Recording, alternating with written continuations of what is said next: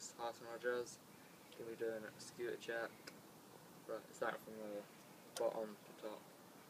I've got on the back I've got a Phoenix black and black wheel with I think they're Reds with I think it's a crisp peg in blue.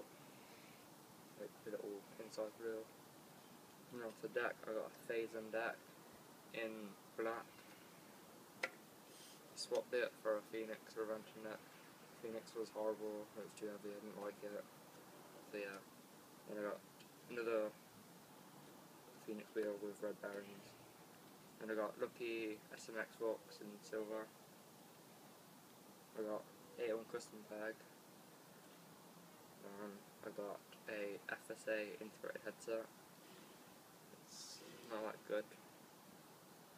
I got Pro SES in purple with three volts. That will fed it. No. Then I got uh, Apex bars in clear. Don't know how high or wide. Don't know.